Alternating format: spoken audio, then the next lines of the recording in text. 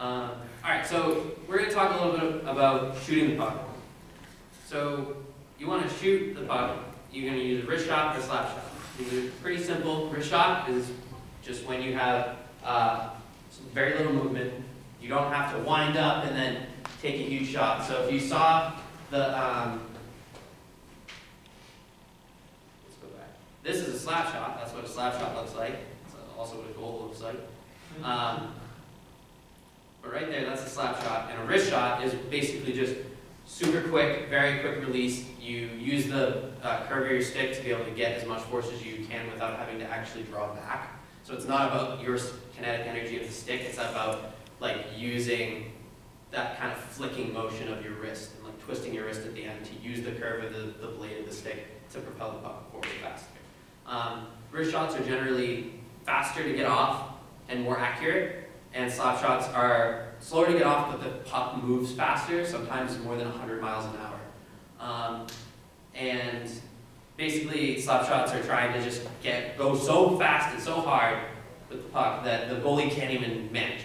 Uh, and a wrist shot is usually trying to beat in as far as like precision, being able to, to like maneuver the puck past him before he knows how to react.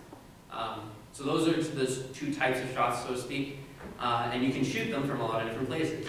Uh, there's techni the technical terms here are point, slot, and then uh, along the boards. So along the boards, that makes sense. You know, the rink has boards on it. You see them, they're around it. They look very much like this room does.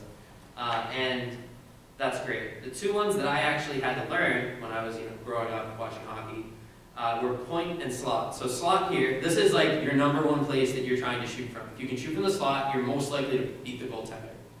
Uh, point is if you are trying to, you know, there's stuff going on in here uh, by the crease, and you want to get a nice big slap shot, usually you'll take it from the point maybe, and from back there, the goalie might not be able to see what's going on past what's, what's happening in front of you, in front of him. So that's the point. Slot would be the ideal place to shoot. Uh, and then here's that blue line we were talking about earlier, so if you're trying to orient yourself, um. There are face-off circles, so now would be a pretty decent time to talk about face-offs.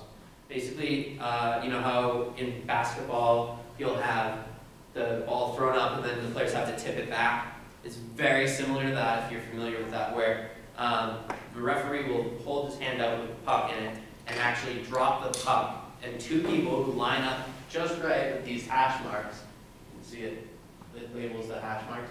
So in that face-off circle, the puck will actually be dropped into the center on the dot, and you'll use your stick to maneuver it either to yourself, to somebody else on your team. Maybe you'll take a shot from the from the face-off. You can do a bunch of things. Um, there's lots of techniques for that, but I'm definitely not going to get into it. Um, yeah, that should that should cover it.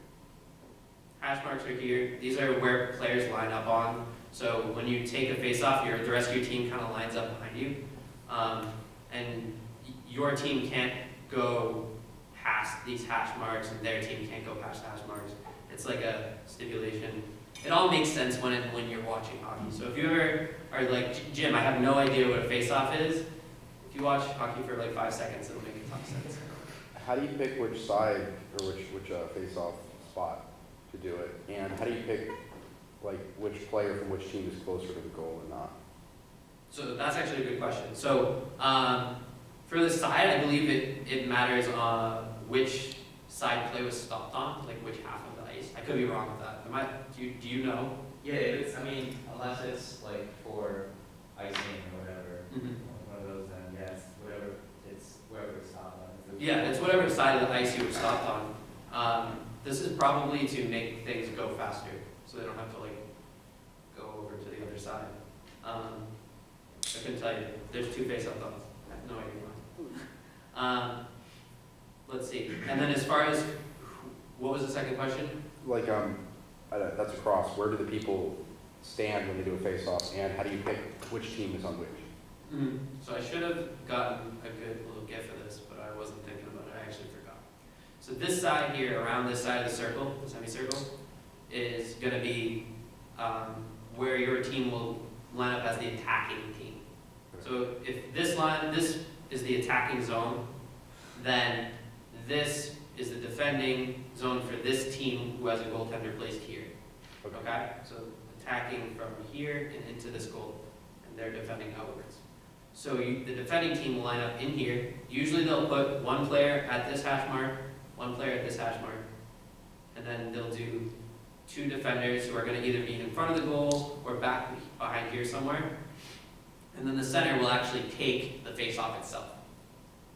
So he'll be the one in there with the stick, trying to scoop it out. Um, This is much easier to show than it is to talk about. Um, But does that clarify your Yeah, yeah, that- um, you can also have face-offs at these dots, and that's if offsides is called, you'll have one of these dots, or if, this is a weird and interesting rule, if, when there's a fight or a scuffle, so to speak, not necessarily somebody fighting necessarily, but if, if they're like, you know, having words, uh, and the defenders of the attacking team come into the scuffle, then they take the play and move it outside of the attacking zone as a penalty to like de-incentivize defensemen from coming in because it takes longer. So it's a way of avoiding longer games without calling delay of game penalties uh, on every like scuffle. So basically, your goalie, when when people will people will get all you know they're having words and they're they look like they're gonna fight and they're talking and punching each other and doing stupid stuff.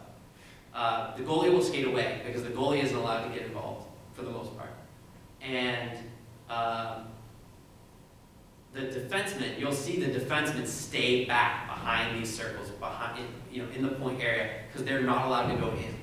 Uh, because if they do, the play will come out to one of these dots. Um, so they're used for offsides in, in that case specifically. Um, really interesting rule. I think that it, it shows the kind of like creativity that the league is willing to to consider when they're looking to balance the game and they're looking to regulate the league. They don't, they're, they're different from football, they're different from soccer or uh, basketball because they don't screw around with like old rules just because they're old rules. They'll, they use cameras, they use photo, uh, or video review, they, they implement all these technologies and i- all these creative ideas into their rules because they're like, no, we don't, we want to get it right, we don't want to, you know, just go based off what the referee said because that's the tradition.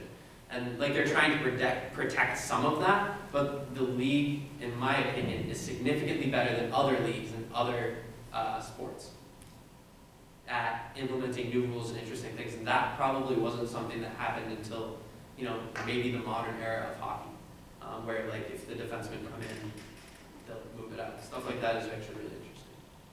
Um, last thing about uh, basics is going to be shooting the puck. These are the numbered holes on the goaltender, so to speak. You don't really call the numbers anything besides the five hole. So the five hole is between the legs of the goaltender. Some people might talk about these numbers, but most of the time you call it glove side high or glove side low, and stick side high, stick side low, and then five hole. But five hole is like a really commonly used term, so if someone says five hole, now you know what they're talking about. Um, that's, that would be like a goalie goal, in pads in front of the net. Alright. Here are the positions. So we have two wingers, two defensemen, a center, and the goaltender, like I mentioned before. And this is not at all how they would line up in any way. It's just a really nice graph. Um, this might be how they line up for a face-off in, in the center dot, but these defensemen would be closer. Um, but this otherwise is how a face-off is lined up for at the center dot. These guys are on this mark here, these guys are on this mark here, and these defensemen are on the edges of the circle and on the blue line, uh, right back here. Uh, otherwise, yeah, that's the positions. Any questions on something you've seen in hockey, and you know you, you, you want to ask a question about how the game is played or what are the basic rules? So I got a question. So is there any, so if there's like ambiguity in between like a call or like a, um, how do you say, it, like a penalty per se? How do you decide which side, you know, you're gonna drop the puck on? I mean, is there like one of those arrows that you have in basketball that you flip every other, you know, call or? I'm just curious, like if a fight breaks out in the middle or something. Oh, it's the closest dot almost Oh, always. close- oh, if- okay. The defensemen get involved and it's in the attacking zone, they bring it out to the closest dot that's outside of the zone. Uh, you know, there are little rules like that. Um, so if there's a fight in here and the defensemen are involved, they'll bring it out. Otherwise, they use the closest dot. It's, it's very simple. Okay. Um, if like the puck gets tossed out of bounds here, they'll just take the face off right here. Unless it was a specific player was out, was the one who tossed it and like, you know, there's a reason to pull the, the play out into the, at this stop, uh, they'll just have it at the closest stop. It's usually very simple. Um, because like where you are on the ice isn't imbalanced one side or the other. I see. Other questions? Uh, what's the meaning of the radius of like the, uh, the, like left defenseman circle? Or, I, I don't know, like the circle around where they do face-offs, Mm-hmm. is that arbitrary or is that tradition or does that have any like semantic meaning? Um, it tells you where to line up and where you're allowed to be. You can't be inside of the circle, uh, besides the center. Why don't they have that at the other dots in the center of the field where they do stuff if there's offside? Like there are those four blue dots in the center. Why, no. Four blue uh, dots. if you Oh. Previous. Oh, just because, uh, it's like, they don't use them as much and the ice would look ridiculous with all those circles. Oh, this isn't ridiculous though. Yeah, this isn't ridiculous stuff. So, this is the dot he's talking about. Okay, so it's just, it's, uh. Yeah, it's because it's like an informal face-off almost, like, Okay, like they just arbitrarily are like, do your job. okay. Um, yeah, good question, good question. Yeah, so the centers will line up at these hash marks in the center, and then the right wing and left wing will go here with the fenceman around the circle, and they can't go inside of it until the puck is dropped. Okay. Yeah. So that's why it's there. Also, to give you perspective, uh, this is two hundred feet. And it's like internationally, it's like a little bit more, like literally inches more, and in North America, it's two hundred feet exactly. Um, for the length of the rink, so that gives you a little bit of, an idea of what's going on. It's a lot smaller than like a football field or anything. In fact, if you look at outdoor games where they put the rink inside of the football field, it looks ridiculous. Um, they it to fit a lot of people. So, a little bit of strategy here, you're gonna see graphs like this, where you have markings for the players and where they're gonna go. This is sort of a standard uh, one, two, two, forecheck. So, to talk about a little bit what that means, there's two words that should be in your vocabulary if you wanna sound like you know what you're talking about with hockey. And that's the forecheck